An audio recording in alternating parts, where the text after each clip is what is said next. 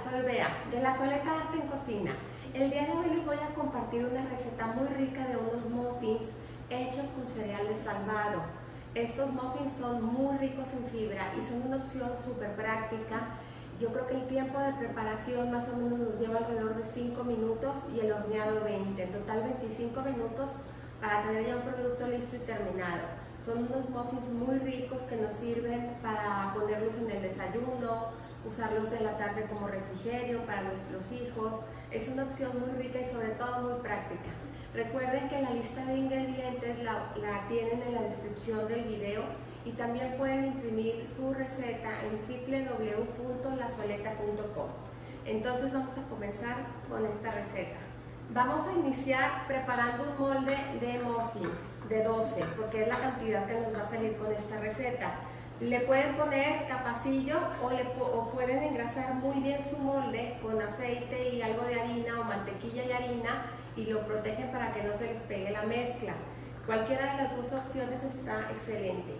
Lo voy a reservar aquí tantito y también es importante tener el horno precalentado a 180 grados centígrados. Entonces lo primero que vamos a hacer es vaciar aquí nuestra leche. Recuerden que toda la todos los ingredientes los tenemos a temperatura ambiente. Entonces vaciamos aquí la leche y sumergimos bien todo el cereal. Este cereal de salvado es el muy conocido por todos de palitos que venden el All ¿sí? Este es el, cereal que vamos a estar utilizando. Si tienen otra marca, pero que sea así el mismo concepto, que sea de salvado y que sea de palitos, pueden utilizar alguna otra marca. Entonces voy a dejarlo aquí reposando. Lo tenemos que dejar reposar alrededor de un minuto. Queremos que se suavicen, pero no mucho. No quiero que se me haga ahí una pasta. Solamente que se suavicen un poquito.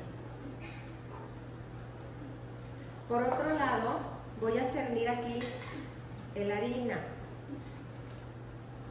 Esta harina que estoy utilizando es harina blanca. Hay algo importante que les quiero comentar acerca de esto. Hay harina blanca, por lo general la, harina que encontramos en el supermercado blanca es refinada o blanqueada, así le llaman. Es un proceso que tiene el trigo para que la harina quede de este color. Pero existe, hay una marca de harina que te venden harina blanca y también harina integral de trigo, por así decir. Bueno, las dos son de trigo, más bien blanca y integral, pero la blanca viene sin blanquear, o sea, viene blanca, pero no tiene ese proceso, es a lo que me refiero. Entonces es una harina un poco más saludable. De esa harina yo estoy utilizando ahorita en la receta.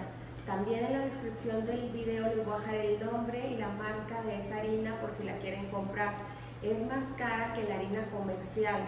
Vamos a decir, la harina comercial cuesta 13, 15 pesos y esta harina te cuesta 100, 130. Cuesta más caro, pero es más saludable por el proceso que tiene la harina. Entonces a lo mejor vale la pena tomarlo en cuenta. Entonces, bueno, ya agregué aquí la harina. Voy a agregar también el royal y voy a agregar también la sal y voy a cernir todos mis ingredientes.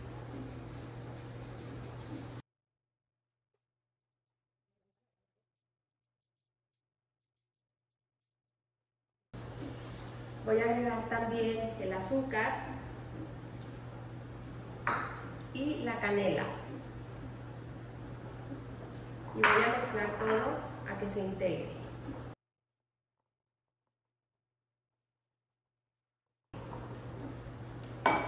voy a reservar aquí un poquito. Y en mi mezcla ya, que ya tengo remojadita de cereal, aquí voy a agregar el aceite.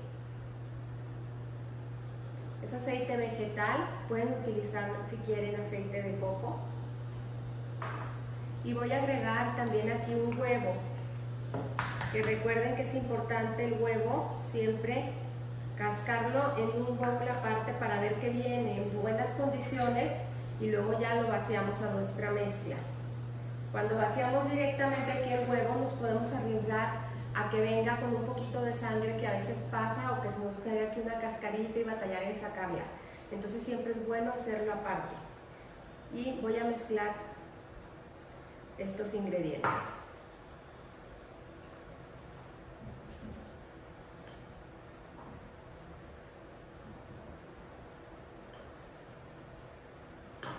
Una vez está integrado, voy a agregar esta mezcla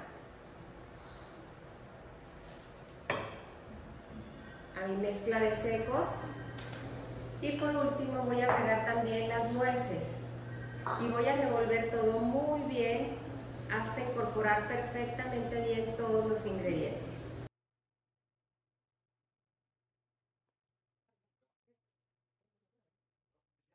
Una vez lista nuestra mezcla nos vamos a ayudar de este scoop para servir la nieve para rellenar nuestros capacillos. Más o menos los queremos rellenos a tres cuartas partes de la capacidad.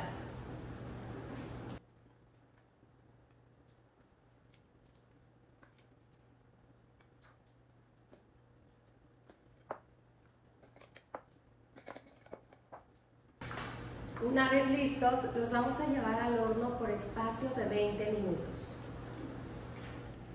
Pues ya están listos nuestros muffins. Vean qué delicia esponjaditos y deliciosos. Aún están un poquito tibios del horno.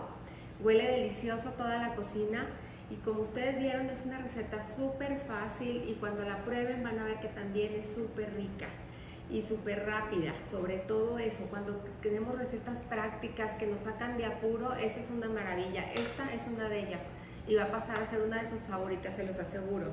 Es una excelente opción acompañarlo de un vaso de leche bien frío a la gente que le gusta chopear, adelante, lo pueden hacer. El chiste es comer y disfrutar, como a cada quien le guste. Los recuerdo suscribirse al canal si aún no lo han hecho y darle clic a la campanita para recibir notificaciones cuando se sube un video. No dejen de leer de verdad la descripción del video porque siempre les pongo tips y les pongo cosas importantes acerca de la receta. Entonces ya no me queda más que invitarlos como siempre a cocinar, a disfrutar pero sobre todo poner el corazón en lo que hacen. Muchas gracias.